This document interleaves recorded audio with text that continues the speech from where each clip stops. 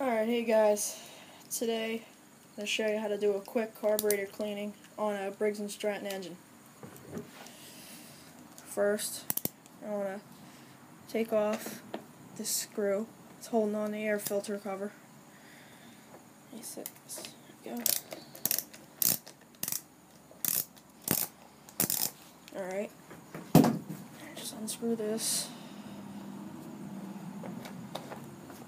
Air filter should pop off. Ooh, this thing needs, this thing's dirty. I need, to buy a new one. But, then,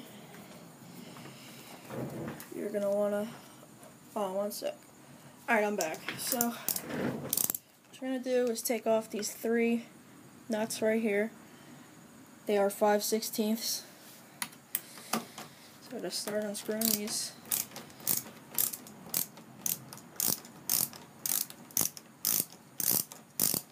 Just loosen them first. And I want to take this bolt off now.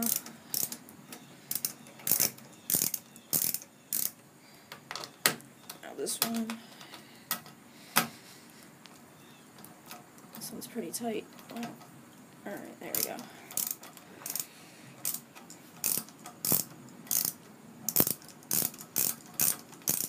Now I'm just going to take them out by hand. They should come right out.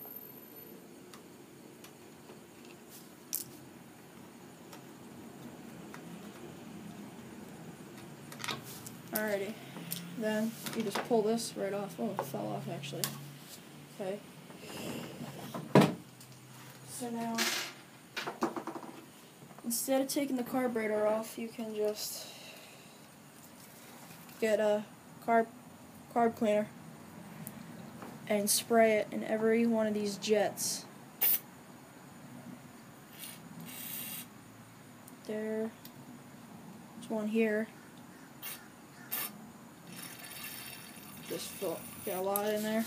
Make sure it's all clean. There's actually one right here. You can just try to get some in there. Then, there's one right here actually. That's for the primer.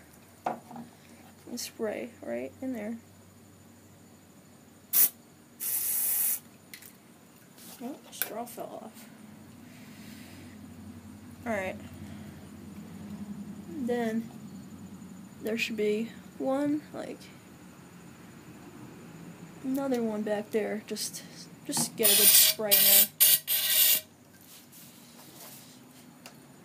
there. And if you just want to spray the whole thing down.